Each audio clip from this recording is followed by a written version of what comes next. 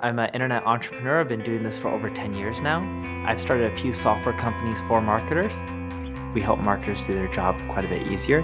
What makes me excited about marketing is that there's always competition. And because of that, you're always learning more, doing new things.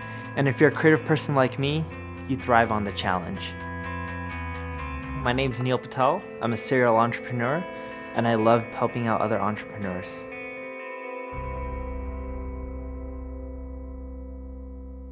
A way you can be more successful with your marketing and entrepreneur efforts is one, through a buddy system. So go find other entrepreneurs out there who are also marketing their business. Learn from them.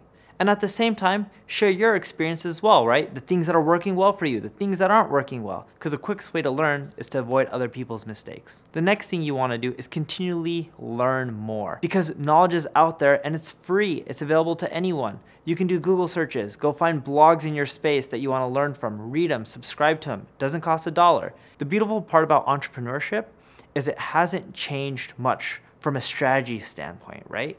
You can actually learn from some of the great entrepreneurs back in the day, whether it's Carnegie, Rockefeller, whoever it may be, learn from them, learn from their mistakes, learn what they did right, and take some of those practices and implement it in your business. The other thing that you need to realize when you're trying to grow your business and become more successful is that it just takes time. You can't expect to get great results right away. It takes not just weeks, not just months, but it takes years. So as long as your numbers are improving on a daily, weekly, monthly, or quarterly basis, you're doing all right. And that's fine. You don't have to create a $100 million company or even a billion dollar company. Instead, you need to be solving a problem and you need to continually see your business grow. If you're doing that, eventually you'll do well. You just have to give it time and be patient.